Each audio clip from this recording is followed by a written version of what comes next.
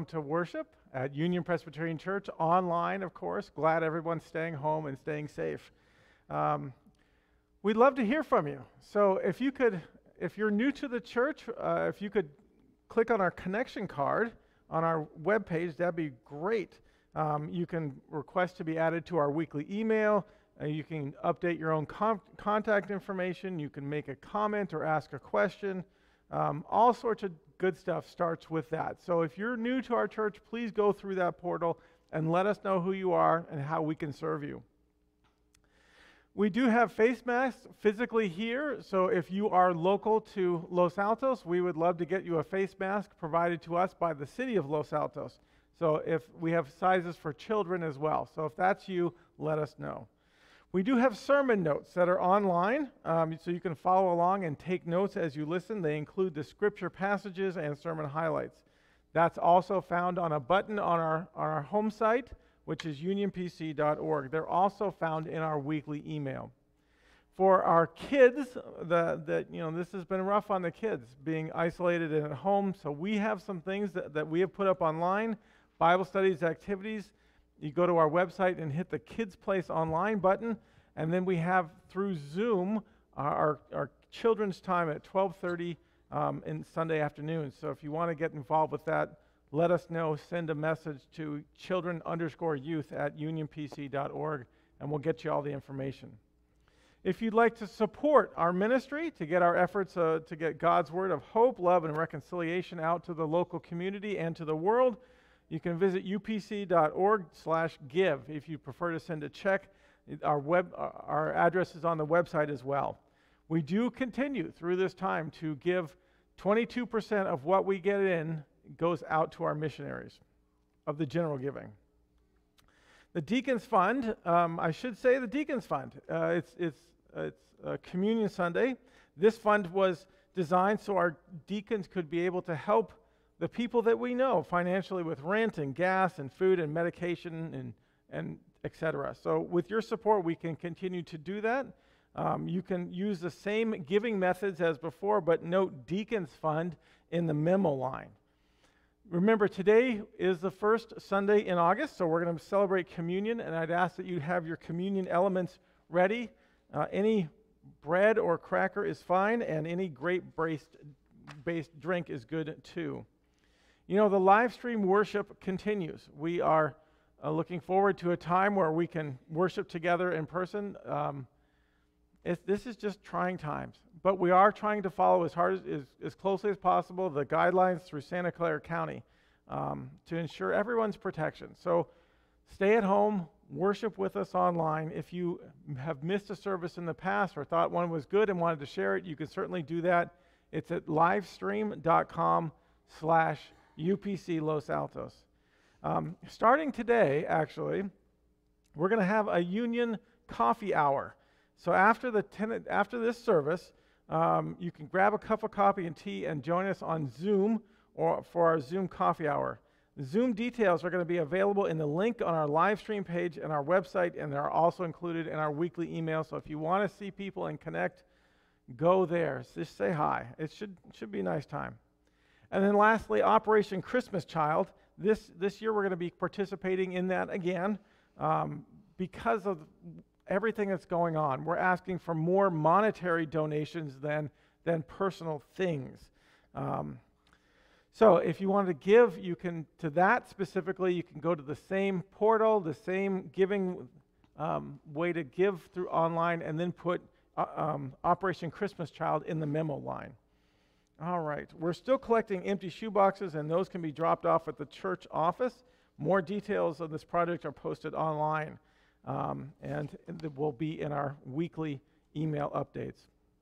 So, our memory verse for, uh, for August is, is this it's from James 5 8 and 9. If you read it with me, you too be patient and stand firm, because the Lord is coming near. near. Don't, grumble against one another, brothers, or sisters, or you will be judged. The judge, judge is standing at the door.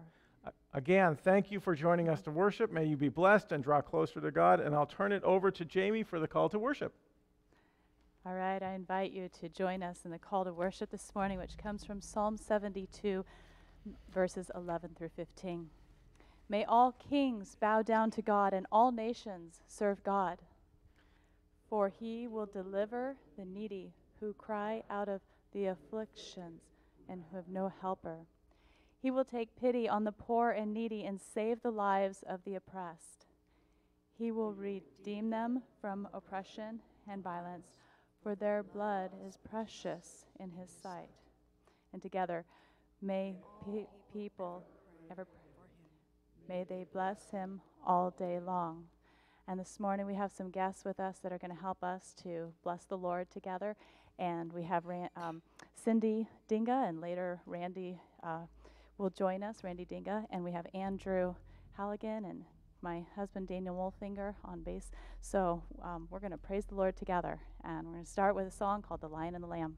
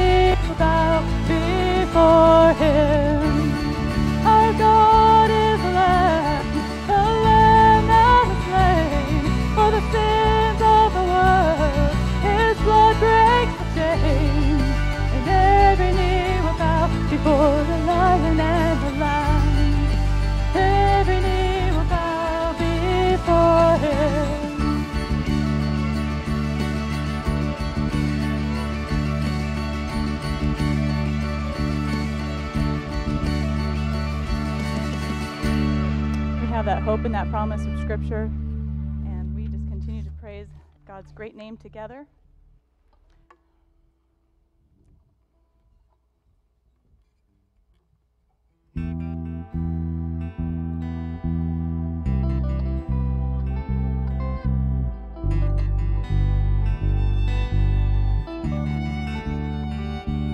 Lost or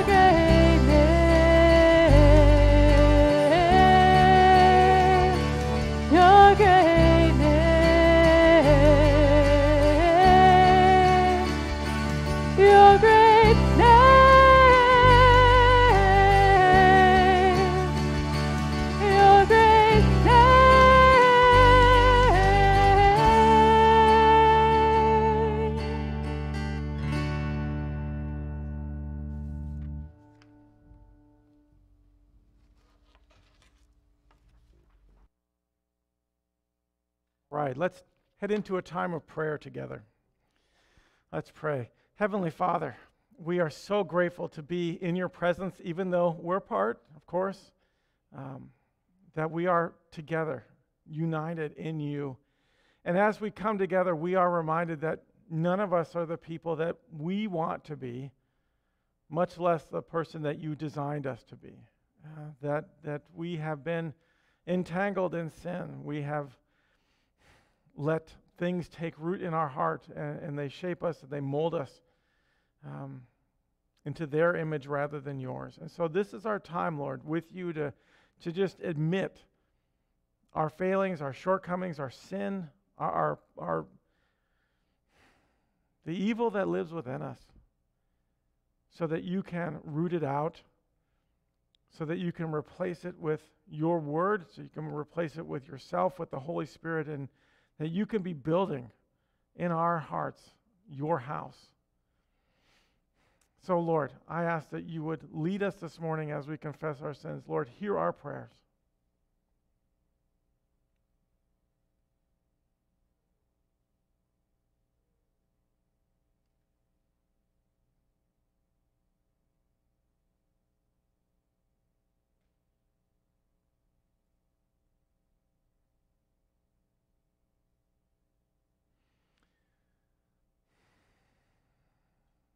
Heavenly Father, you know us so well.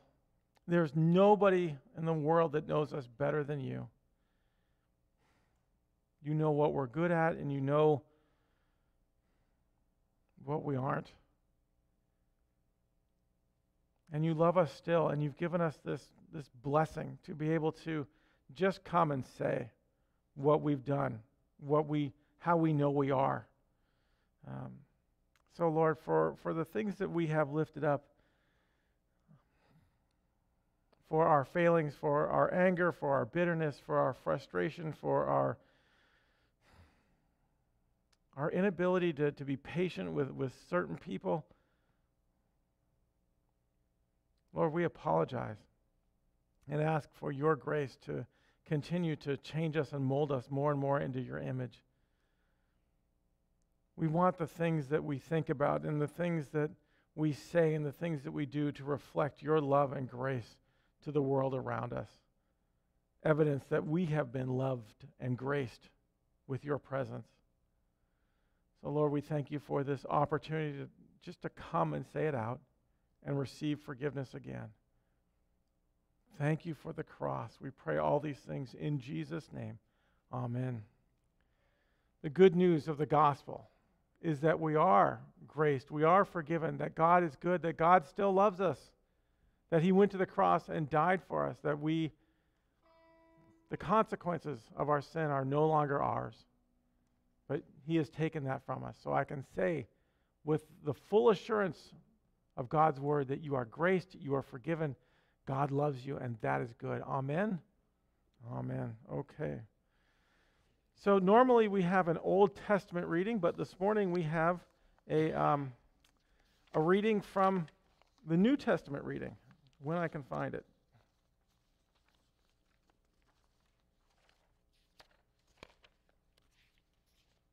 Ah, good. So here it is. And it's because this reading is, is so long. It's a long passage. You know it, um, but I wanted to get all of it in. So this is from Matthew 13. I'm going to start with 1 to 9 and then 18 to 30. It says this That same day, Jesus went out of the house and sat by the lake. Such large crowds gathered around him that he got into a boat and sat in it, while all the people stood on the shore. Then he told them many things in parables, saying, A farmer went out to sow his seed. As he was scattering seed, some fell along the path, and the birds came and ate it up. Some fell on rocky places where it did not have much soil. It sprang up quickly because the soil was shallow.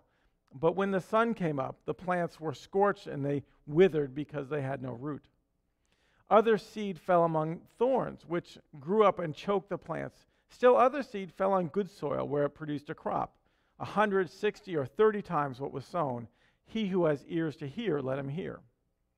And then I'm jumping down to 18, uh, 13, 18. Listen then to what the parable of the sower means. Anyone who hears the message about the kingdom and does not understand it, the evil one comes and snatches away what was sown in their heart. This is the seed sown along the path. The seed falling on the rocky ground refers to someone who hears the word and at once receives it with joy. But since they have no root, they last only a short time. When trouble or persecution comes because of the word, they quickly fall away. The seed falling among the thorns refers to someone who hears the word, but the worries of this life and the deceitfulness of wealth choke the word, making it unfruitful.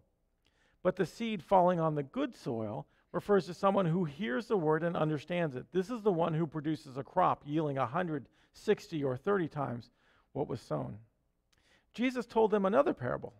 The kingdom of heaven is like a man who sowed good seed in his field, but while everyone was sleeping, his enemy came and sowed weeds, uh, weeds among the wheat and went away. When the wheat sprouted and formed heads, the weeds also appeared. The owner's servants came to him and said, Sir, didn't you sow good seed in your field? Where then did these weeds come from? An enemy did this, he said. The servants asked him, Do you want us to go and pull them up? No, he answered, because while you're pulling up the weeds, you may uproot the wheat with them. Let both grow together until the harvest. At that time, I will, I will tell the harvesters first collect the weeds and tie them in bundles to be burned, then gather the wheat and bring it into my barn. So, we're looking at a couple parables today. Uh, obviously, the parable of the soils and the seed, uh, but also then the wheat and the chaff. Um, so, it's a, I'm going to combine those two into one sermon. So bear with me. And then I'm going to start right now and read 36 through the end of the chapter, um, uh, the explanation uh, of, the, of the last parable. And, uh, and then we'll get into the, the whole sermon. So this is it, starting in verse 36. Then he, Jesus, left the crowd and went into the house. His disciples came to him and said, Explain to us the parable of the weeds in the field. He answered, The one who sowed the good seed is the Son of Man. The seed, the, rather, the field is the world, and the good seed stands for the sons of the kingdom. The weeds are the sons of the evil one, and the enemy who sows them is the devil. The harvest is the end of the age, and the harvesters are angels. The Son of Man will send out his angels, and they will weed out his, of his kingdom everything that causes sin and all who do evil. They will be thrown into the fiery furnace, furnace where there will be weeping and gnashing of teeth. Then the righteous will shine like the sun in the kingdom of their Father. He who has ears to hear, let him hear. Let me pray for us. Jesus, thank you for your word. Thank you for this morning. Thank you for the cross. I ask your blessing on, on this time, Lord, our time with you in your word to think about it and let, to let it re examine our lives to see how we are shaping up. Lord, be with us this morning. This is your time. We pray all this in Jesus' name. Amen. You know, when I lived in New York, I, I encountered something which I understand to be an issue in many areas of Christianity, but, but often in our country. There were people who came to my church every week very faithfully, not because they believed in the Bible, not because they loved Jesus. They came because that was what they were expected to do. It was Sunday. And on Sunday, everybody went to church. That's how it is.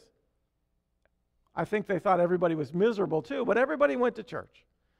Um, yeah, it was. I think this is in more stable communities, if I'm honest, where people can go and see their parents and their grandparents who have been in this town, in this area for a long time. These are very stable communities, and these are people who are just expected by their community, by their families, that they will go to church on Sunday, but they don't have the really the passion to be there. My, my friend said it was really worse for him down in Virginia when, when his first call. Everybody, he said, in that whole town, everybody went to church. Everybody had their own pew. Even even the drug dealers, even, even the people who had been out drinking and drugging the night before, everybody was in church. Now, the rest of the week, they weren't interested in Jesus or the Bible or even living in a way that reflected God's glory and grace to the world. But Sunday morning, they were in the pews. checking their watches every five minutes to see if time had stopped. One of the nice things about California is that because it's more of a transitional area, almost everybody my age or older is from somewhere else. And so there isn't the stability of community. There aren't the people that have watched you grow up and who expect you to be in church on Sunday. And so consequently, there isn't the social stigma attached to not going to church. And as far as I can tell, that has been true during my lifetime in California. I mean, California is a place where you can come and reinvent yourself, where you don't have to go to church anymore if you don't want to. And so, consequently, the people who actually are in church on a given Sunday are pretty committed to, to, to God. And so, perhaps this, te- this text is a better, uh, um, better for my previous church and a previous area because it really is about counterfeit Christianity. At the end of the, the Sermon on the Mount, there was one part we didn't hit where Jesus talks about people who will come to him at the end of the age. And they'll say, Why are we being weeded out? Why, why are we going in this direction when you're going that direction? Look at all the great stuff that we did for you. And Jesus says, I'm going to say to them, Friend, I never knew you. So even though this might not be the most relevant physical place for this sermon, there are people that we know who just fade away. They appear to be fine in their faith and their walk, and then all of a sudden they're less fine and they're just kind of walking away. They're doing something else. And so we need to talk about that. I mean, there are people who are leading small groups, are enthusiastic about the sermon each week, and then suddenly they're gone. And we think, well, how can that happen to someone who seemed to be on fire for God? Well, these are the parables that help us understand that. And the truth is, they give up. I mean, 1 John 2 says in part that they were not of us. If they had been of us, they would have no doubt continued with us. And so, what John is saying is that real Christians last, they stay, they persevere, they stay to the end. And if they don't stay to the end, then they weren't real. In John Calvin's teaching, which some people reduce to, to five points. And I'm not going to go through all the points, but they, they have a, um, an anagram that goes with it, which is tulip. And the P at the end stands for perseverance, the perseverance of the saints. Staying to the end is the mark of a follower of Jesus. That's in the first parable. And then in the second, we learn that there are counterfeit Christians who will last to the end. They will persevere. And at that point, God will separate out the wheat from the chaff. So, to help us not worry about whether we are a real Christian or not, the Bible gives us some guidelines, some clues. So, here's the first couple A Christian is someone whose heart has been transformed by the Word of God. That's just the baseline. That's who we are. I mean, there is, of course, the soil where the, the seed and of course, in, in the soil and the seeds, the seed stands for the Word of God. It stands for the truth. It stands for Jesus' message that the, the kingdom of God has come near. It's the Word of God. And so Peter says, um, uh, First Peter says that we're born again of the Word. So that what makes someone a Christian is that God's Word comes into their heart. And as we know, in that first soil, that doesn't happen.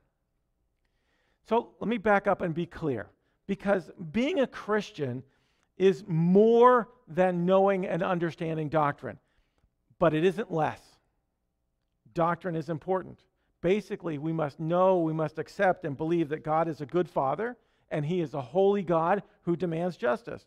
That Jesus was the Son of God who did something on the cross to deal with our sins. We believe the Spirit of God comes into a person's heart and regenerates them and that it's all about faith, not about works. It's not, you can't earn heaven, not ever. And that's the basics. You can't believe less than that and be a Christian. So that's the seed. What's the field? Well, it's the heart. The whole point of what a Christian is really revolves around does God's word, does the seed get into the heart or not? So the set of people who's represented by the soil where the seed doesn't penetrate, just bounces off until a bird steals it away. Those people are, are atheists. They, they're not listening, they are not interested. It's actually the second and third soils that we really want to talk about, where there is this penetration of the word into their heart, but it doesn't go deep enough. And this is what Jesus is focusing on. See, what makes Christianity inauthentic is in verse 20 that they re- receive the word the, the, with great joy, but the soil is rocky. And because of the rocks, the soil doesn't go very deep. And the seed stays near the surface and where it's easily knocked out or the sun burns it up. It never really penetrates deeply into the heart. And then the third soil is similar. It's e- um, but these words worries choke out the seed. See, in that one, in that soil, the seed is closer to getting into the heart, but the problem is there's already other things in the heart, worries about money or whatever. The weed and the thorns have deeper roots into the heart than God's word. And then what you have is a divided heart where the cares of the world are actually stronger and God's word is choked out. But then that last soil, of course, the seed falls on good soil. And, it's, and Jesus said, it's the man who hears the word and understands. That's important. Understanding is important. The difference, really, between those other two souls, soils and the fourth one is understanding. Now, some people may say they understand or even think that they do, but they lack understanding. See, a real Christian is one who has been affected by the Word of God, not just on the surface, but all the way down into the depths of the heart. There's a great translation of Romans 6:17. It says this: "But thanks be to God that though you used to be slaves to sin, you have with your whole heart, you have wholeheartedly obeyed the form of teaching to which you were entrusted." That they obeyed from the heart the teaching that was delivered to them. So the first thing is truth and doctrine, understanding it and accepting it. That's the bare minimum. Understanding the kingdom and the gospel. And the second thing is that the message goes to the heart. I mean, you've all seen people who struggle to, to get their, their heart and their mind lined up. You see this often in dating and, and people who are dating. They're like, you know, my mind tells me that, that you know, she's really wrong for me. This, this isn't going to go well. My friends are telling me this isn't going to go well. I know it's not going to go well, but my heart says, go for it. And so that's, that's where we go. See, the way you see if there's the, the, the message is in your heart is that there's now obedience to the word and a changed life.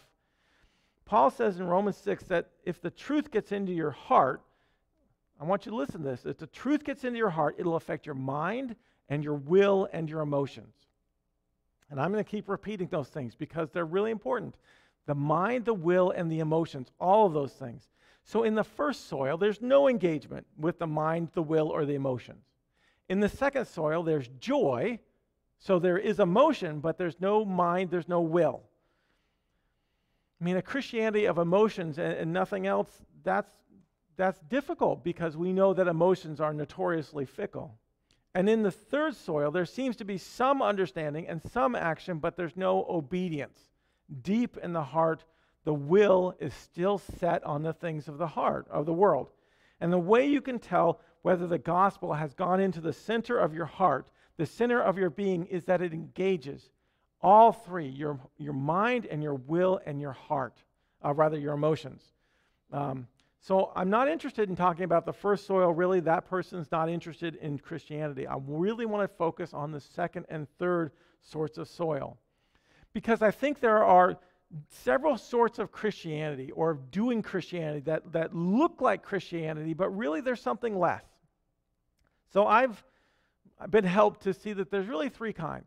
One is intellectual Christianity, one is emotional Christianity, and the other is volitional Christianity. And volition is a, is a word we don't use a whole lot, and it really means people who have a duty. They sense, they do Christianity as a duty. This is what they have always done. So, the first thing I want to talk about is intellectual Christianity. There, these are people who accept the precepts of what Jesus is teaching. You might even call them a nominal Christian, that they agree with a set of precepts, a, a set of doctrines, but it never takes root in their, in their heart. I, have been told that, that there one place where you can find these folks is in the second or third generation of, of a church. Um, and I don't mean older Christians, but people um, who have come along in the second or third generation of the church. So their parents or their grandparents started the church, and they started it with, with great joy and great enthusiasm for Christ and his gospel. And we've got to reach out and we've got to build the kingdom. What do we have to do to do that? And then by the time their kids and their grandkids come along, the question has been flip flopped. It isn't how can the gospel get out through me, but rather what can church do for me? How does the church, how is the church meeting my needs? That becomes the new question. And this seems to be people who have been around church for a while, children of, uh, of the ki- people who actually started the church. Their parents had a vital faith, and, and the kids admire it, and, and, but it just doesn't have the same place in their hearts for the, for the gospel. Their, their mindset is this is my church. Um, this is the way it's always been. This is the way that I want it for my kids, and I don't want it to change. I want it to meet my needs. Here's the thing the kids of the founders never believed anything else, which is good. They've always believed in the doctrines of the church, good, but they have never come under the power of its truth. And that's an issue. There's another sort of intellectual Christianity that, that is called doctrinal Christianity. And, and these are people who love learning. And sometimes they get they love learning so much that you can learn enough and then get caught up in, in the weeds, as it were, caught up in the, in the little bitty trails. These are people who love to think about prophecies, love to figure out prophecies. You know, the, one of the mentors of one of my pastor friends described a person that he thought was in the gravest possible spiritual condition. And, and he'd met some people that would come to him and say, you know what? I've been a Christian for, for 10 years, and it was great at the start, but now I've really kind of settled down, and I've been studying prophecy. And I think I'm becoming an expert at, understanding prophecy, and I'd like to know your positions on this, this, and how Paul says this. What do you think about these things? and they start to measure other people by what they think about this or that prophecy, and even start to tell other people that they're not real Christians because of their position on something in Revelation. I have to tell you, it is, it's one thing to say, I believe Jesus died for my sins. It's wholly another thing to be moved to tears. And, and, and because of the grace and the love that Christ showed you, being nailed to the cross for your sins. I mean, does that humble you? Does it comfort you? Or is it just you, something you believe happened? I mean, we're supposed to be growing in, in love and compassion, being transformed by the gospel of grace. And there are some people who can be very graceless Christians. So that's intellectual Christianity. Another side road is emotional Christianity. Uh, there's two sorts here. And the first sort that I've been, somebody showed me, was kind of this manic depressive Christianity. And I don't mean that in a pejorative way. I, I don't want to put down people who struggle with manic depression. Um, but just that people who are manic depressive, they run hot and cold. They are, when they're manic, they're really high and excited about life. And when they're depressed, they're really, really depressed and down. So these sorts of Christians, they go up and down all the time. And it really is emblematic of someone who relies on their feelings for their assurance in Christ. And feelings, I think, as we all know, come and go. Sometimes we're up, sometimes we're down. This sort of counterfeit Christianity relies on external circumstances to gauge how we're doing with God. If circumstances are, are hard and life is difficult, they start to wander away from God because it just isn't working for them right now. Uh, but if life is working out the way that they've planned it and that they're happy, then they're willing to show up on Sundays and go to church. Look at what Jesus says. These people receive the word with joy. They experience an emotional moment, but the word has no root. This is because people mistake an emotional experience for God's deliverance. they say something like, Yeah, I know God has accepted me because I felt it. I, I, I, I sensed it in my being. I, I know it happened. So allow me this grace is actually a legal position before God, it's this forgiveness. Grace can come with emotions and it can come without emotions. It's not zapped into us by the sacraments, it's a legal position before God. I mean, I think there's real danger in, in relying on emotion to make us feel like we're good with God. We start to rely on that experience rather than on what Jesus did on the cross.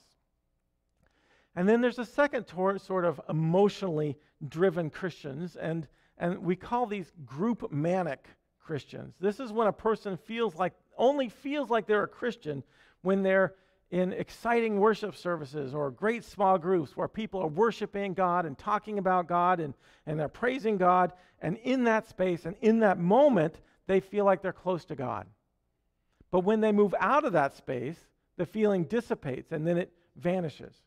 They don't find prayer by themselves interesting or important. Bible on their own is just not something they do. They constantly long for another worship time where they can feel that high again, whether that's in church or a small group. I, you know, I walk around here um, on, you know, every day with the dogs, and I met somebody who seemed to be like this, and and she wanted to know. She found out I was the pastor of this church, and she wanted to know what sort of music do you have here. I said, well, we have, I don't know, regular music. We have, I guess, folk rock sort of music.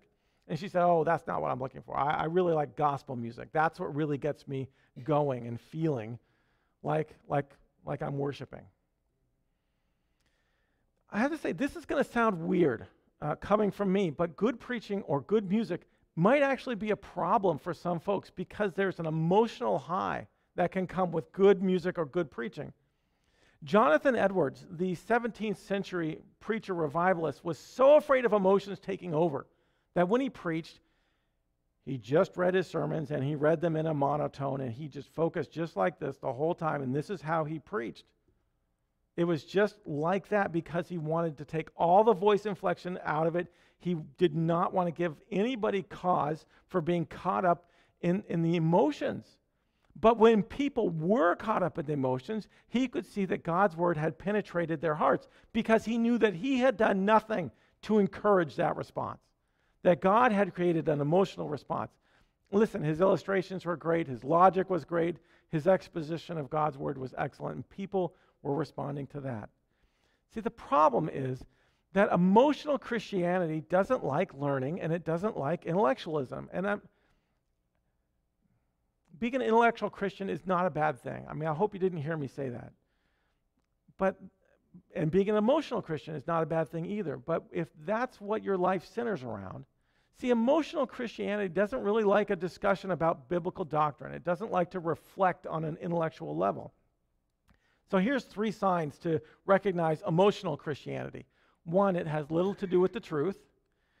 It, it, it de emphasizes learning.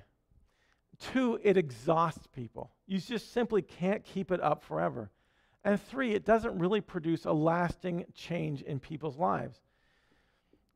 I'll give you an example. There was a pastor that I learned about who was preaching at a revival, and he could see that it was going well, that the Spirit was moving. And there was a guy up at the balcony who, who was trying to figure things out, and you could see the confusion on his face, and you could see that he was really starting to enjoy it and was listening hard. And after the, the time, worship time was over, he actually came up to the front to try and meet the pastor, and just because of the way things were, it didn't happen and he got taken away. And so, but he knew that that guy was out there. And by happenstance, the very next day, he ran into the guy on the street. Um, and, and, the, and the pastor said, Oh, it's so good to see you. I saw you there last night. How, you know, how, how's everything going? And the man said, You missed your chance. He said, I was ready to commit last night. I, I would have prayed a prayer with you last night, but now I'm better. And the preacher said, Well, let's, let's pray right now. And he said, No, no, no, moment's over. You, you missed your chance. And the preacher said to him, Friend, I, I don't know what happened to you last night, but if it didn't even last 24 hours, It wasn't the work of the Spirit. You didn't miss anything, and I didn't either. And so there's so that's emotional Christianity. And I think real Christianity encompasses intellectual, it encompasses emotional, um, but they don't focus on these things. And the last sort is volitional Christianity, the Christianity of just kind of doing your duty that you've learned to do. This is what Christians do, and so I'm going to do it, and that's it. One mark of them is that they have no interest in truth. They have this basic belief system. Perhaps the Apostles' Creed is is what they believe and they agree with it, but there's no intellectual interest in it and thinking about it and thinking out about what it means. There's no interest in digging into, into God's word. There's not a lot of emotion. But these people are faithful, they're dutiful, they're, they're Ten Commandment centered folks. Um, and there's two kinds here as well. One is a fear based Christianity, and this is kind of where I was before I really came to faith. And it's this whole idea that God is angry with me unless I do the right things. Um, and, and God loves to smite people who step out of line. Um, and unless I do something for God, He's not going to do anything for me. That's the thinking. The fear of failure is greater than a desire to grow in God. And for some people, it is this fear of failure that really prevents them from moving forward and experiencing God's grace and truth and love. And the last sort is, is Pharisaical Christianity, which is really all about rules. That if you follow the rules, then God loves me and I can get out what I want from life. And I, have run into these people before. I, I, had a friend, I've told this story before, but I had a friend who was dying of, of breast cancer. And she had her, um, her small group come to her and tell her, well, the reason you're dying of cancer is because you have some unconfessed sin in your life. And if you just figure out what that is and confess it, God will heal you. Well, that makes God into a transactional past, uh, a transactional partner. If I do well, then I get stuff. Um, and if I fail God, then I'm penalized. I mean, this sort of Christian loves to point fingers at, at other people, loves to explain that suffering people are suffering because they have something in their lives that's not given over to God, some unconfessed sin. The other thing I've noticed about Pharisaical Christians is that the rules are different for them than it is for someone else.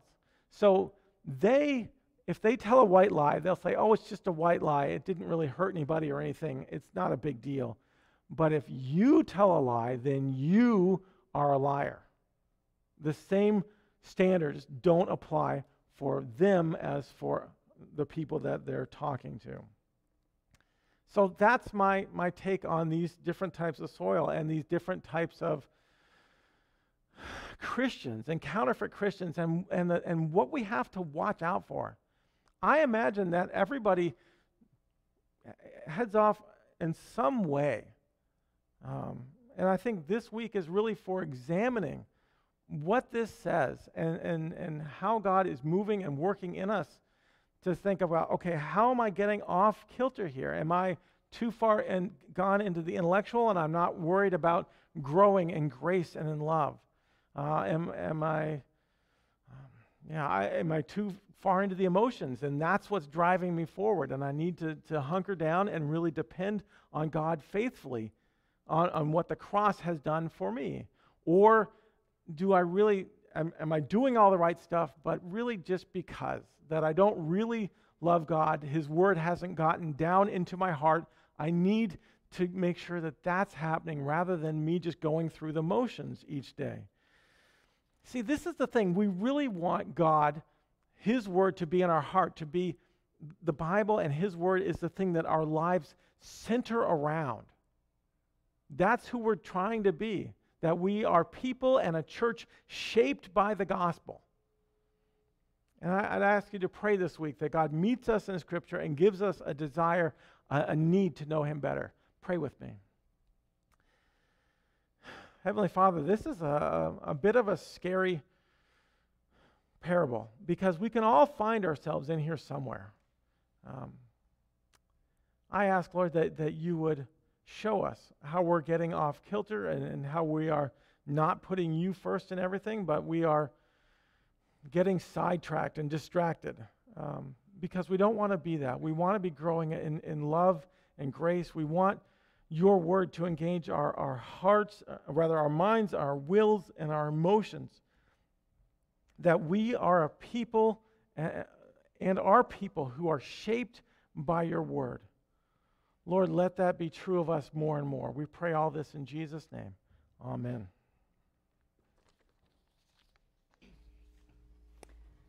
All right. Our response and song is going to be Great is Thy Faithfulness. And um, there's a new chorus in here, but um, I hope that as we think about that message and, and contemplate on where we tend to shift, that we also see that God is unshifting. He's always faithful, and we, we um, keep looking up to, to the Lord.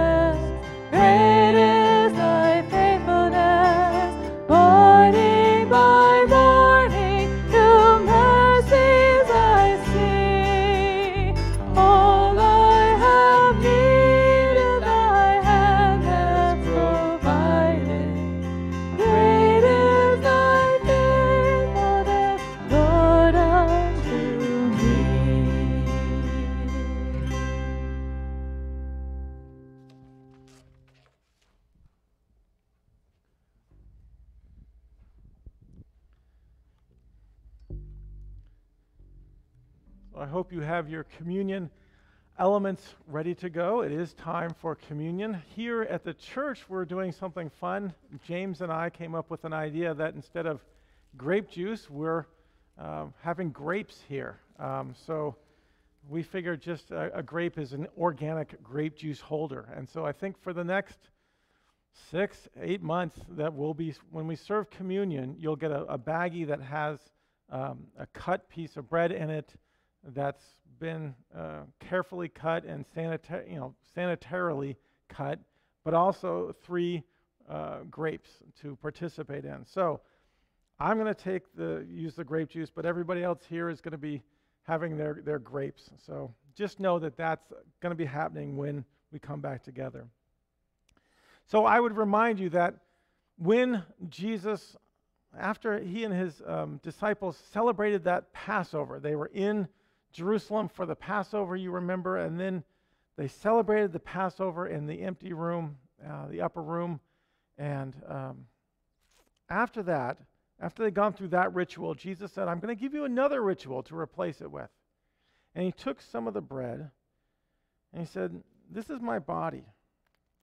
And, and he broke it. And he said, this, this is my body, which is for you. Take and eat. And in the same manner, he held up a cup, a cup of wine that had been used probably in the Passover celebration. And he said, This this represents my blood, which is poured out, which is shed for you, shed for the forgiveness of many. And as often as you eat of this bread and drink from this cup, you remember my death until I come again. And so we today, we eat and we drink, we remember, we celebrate that Jesus loved us so much that he went to the cross for us. And I hope that isn't just something you believe, but it's something that you know that you depend on that that drives you to to praise and gratefulness and and humbles you comforts you that Christ died for us take and eat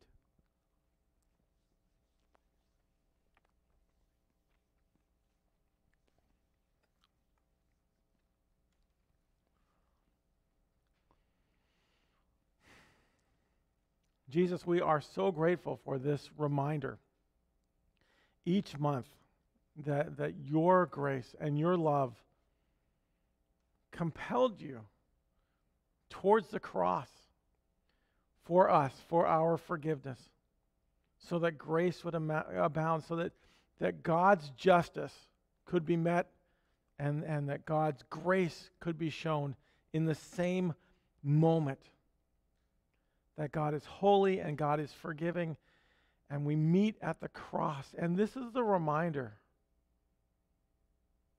that your body was broken on the cross, that your blood was shed for our forgiveness on the cross. We are so grateful for this reminder. Help us, Lord, to remember this this week, this month, until we take communion again together. That this is who we are forgiven people.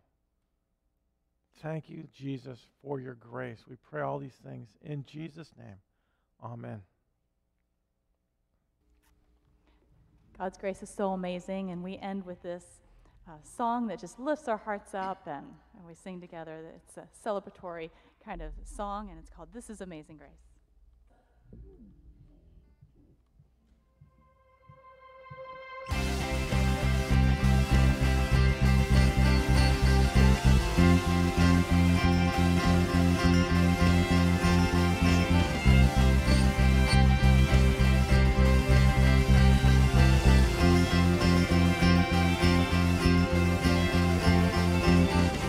Breaks the power of sin and darkness? Whose love is mighty and so much stronger? The King of glory, the King above all kings. Who shakes the whole earth with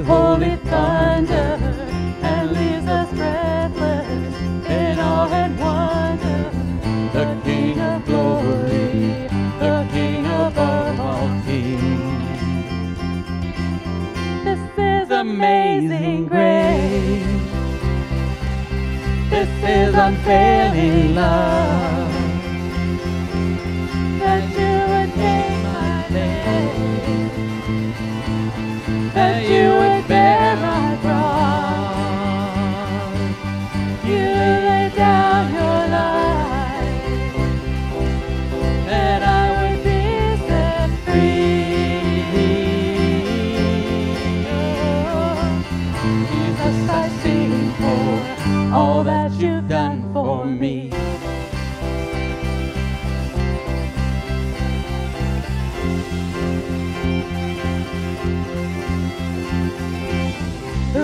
our chaos back into order.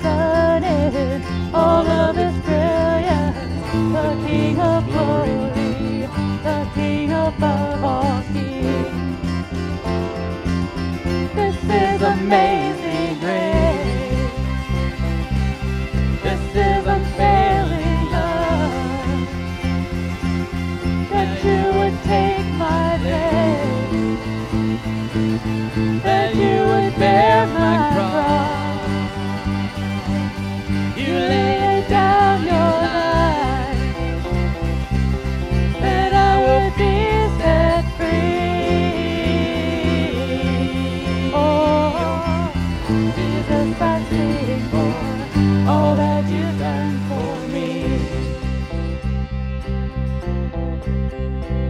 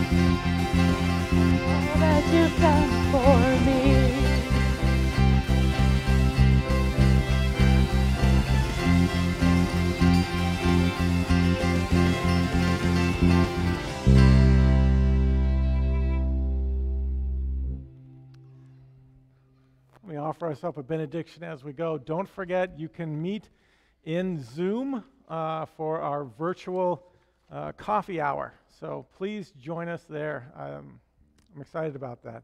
So, Lord, send us out from this place full of your grace and your glory, aware more than ever of, of your love for us and so how we are to be loving to others. Send us out here, out of this worship space with your power. Send us out with the heart of Christ. Send us out with the presence of the Spirit. And the people of God say, Hallelujah. Amen.